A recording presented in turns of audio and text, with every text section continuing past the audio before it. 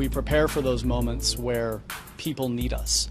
We prepare for those moments where people's worlds turn to chaos and they need to call for help.